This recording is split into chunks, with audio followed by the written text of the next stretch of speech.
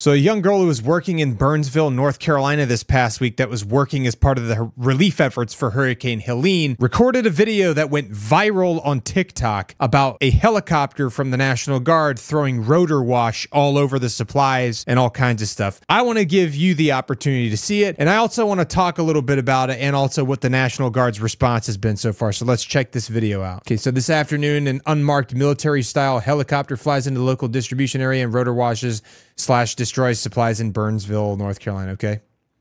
We had a meeting with all the parties involved at this site and established it as a no fly, no drop zone hours before. Flew pretty low. They flew in and hovered around for a bit, looking like they wanted to land despite our signals telling them no. They're hovering up there. Then they dipped down and performed a rotor wash, which seemed deliberate, then flew off, destroying a lot of the staging area and harming the people directly below in the staging area. I was handling a K9 at the time. The helo was unmarked, and we were unable to zoom in and see masked persons who flies unmarked helos like this. Question mark. Local PD came in, and we've been trying to find track their flight to find out who they are, where they flew in from. Nothing. Ghosts. 40 minutes prior to this, two unmarked black SUVs running blue lights rolled in, circled around, immediately left. They were not local law enforcement and not anyone we had been affiliated with. You could clearly see the supply setup, blue tents, etc., and see that this was not a clear landing zone. You can see like supplies blown around in the wind from the rotor wash, all kinds of stuff boxes flying around.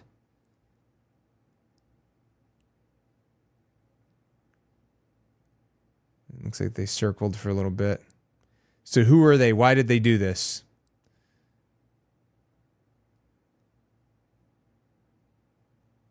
For those of my previous videos saying I am spreading lies, this is the reality and what is happening in areas all over North Carolina. I'm seeing it with my own eyes. If you're not boots in the ground and risking your safety to help those in need, despite efforts of the people like this trying to thwart our mission, you don't get to say what is a lie. This is being investigated, and we're trying to find out who was this and why. Yeah. It's confusing because, you know, there could have been a number of reasons. I'm sure that part of it's probably the fact that there's been a really tough, it's been very difficult for people to communicate. Number one, first and foremost. Um, because there's so many different agencies operating in the same environment. You've got federal, local, state, you've got a ton of volunteers from all over the country, and not all of them are local to North Carolina. So the National Guard, the North Carolina National Guard, responded to this incident publicly on Twitter, saying that the North Carolina National Guard is aware of the incident involving a North Carolina National Guard UH 60 Blackhawk helicopter during a delivery of generators at the request of a local civilian organization to power the distribution outpost in western North Carolina due to the relief mission for Tropical Storm Helene. While attempting to land, rotor wash caused items to blow away from the local distribution set up by a group of civilians in the area. The crew immediately identified the situation, aborted the landing for safety reasons, and departed the area. This incident is currently under investigation, and the crew has been grounded until the investigation is complete. The North Carolina National Guard is working with the identified local civilian organization to assess the level of damage caused by the rotor wash. Safety is the North Carolina National Guard's number one priority, especially with the high volume of air operations currently happening across the region. While the North Carolina National Guard strives for precision in every mission, sometimes things don't go as planned. When that happens, the North Carolina National Guard takes it very seriously and are committed to addressing and correcting any issues to prevent future occurrences. So, what the North Carolina National Guard is saying that it was an accident. They didn't mean to do it. They were attempting to land Maybe they were preoccupied communicating with other people or trying to coordinate other things and weren't paying attention. I don't know. They're they're still investigating the situation. Not 100% sure what happened. They currently grounded that helicopter crew. Okay, I just want to watch it one more time and just kind of see maybe pick this video apart a little bit. Okay, so obviously they have a crew. So there's more than one person. Somebody's looking down and able to like view what's below them. I know they're not completely ignorant of it there's possible it's possible they're communicating with a bunch of different folks.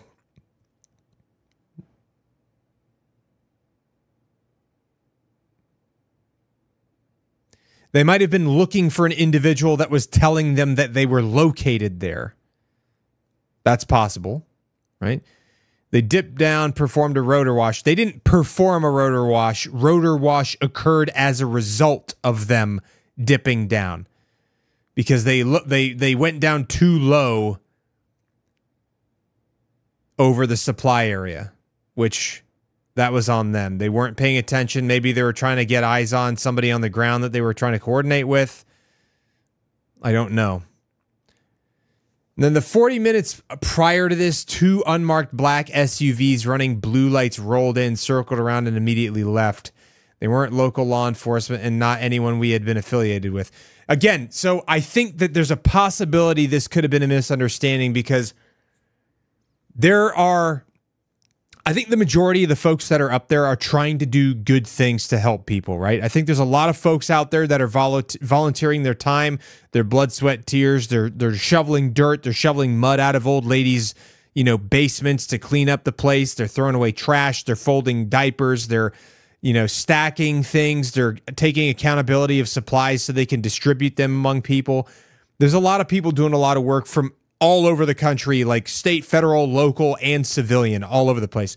And so the biggest issue with this whole thing has been co- coordination and communication because there's so many different agencies trying to work in the same AO and nobody has any like centralized command and control. The state's still technically in control of the the state. They didn't hand it over to the federal government and it's a really weird situation because like there's a there's federal army troops there that are falling under a state national guard. And like the federal army troops are like the lead, like the head guy in charge of them is a higher rank than the head guy in charge of the national guard. So it's just really weird. It's hard like a lot of people are having a hard time communicating coordinating. It's possible that there is maybe somebody they were looking for that was over there and he was trying to get eyes on. Because there have been a lot of looters. There's been a lot of bad actors committing crimes and doing things to take advantage advantage of people up there, um, people trying to steal stuff. Maybe they were looking for somebody that was like suspected of committing a crime that they were trying to find. Maybe that, maybe those unmarked black SUVs with blue running lights were looking for a individual that did something wrong that they weren't supposed to. And when they realized that individual wasn't there, maybe they left, you know, um, because there's people from all over different, you know, services, whether it be state, local, federal, civilian, that are using each other's aircraft to do stuff too. Like I know the National Guard has been helping out the Cajun Navy. They've been doing stuff for the Cajun Navy. Um, the Cajun Navy has been lending aircraft to state employees to do things as well. So it's very convoluted. It's very difficult to nail this into one thing. Obviously, the guy should have been paying better attention, realized, oh crap, I'm putting rotor wash on the supply area. Like maybe I should back off a little bit. So that's obviously a problem, right? Um, he wasn't paying attention. And that that's there's probably some negligence in, in that area. But that doesn't mean that the whole National Guard's been doing that. All of the National Guard I've seen have been doing a stellar job landing Chinooks all over the place, dropping huge pallets of water, chow, MREs, all kinds of stuff, generators. Like they've been doing a lot to resupply people that are in need. So I think this is just like a one off situation where mistakes were made. And I'm not trying to make excuses. Like obviously they did something wrong. They shouldn't have been flying that low right over a supply aggregation area, right? They should have probably been like, okay, maybe we should stay away from that or stay at a high enough elevation where we don't cause rotor wash and blow a bunch of supplies around. But again, you know, there's good people doing a lot of good things and people making mistakes. And there's also bad people up there making like poor choices and doing things that negatively impact. That doesn't mean that it's a blanket statement across the entire National Guard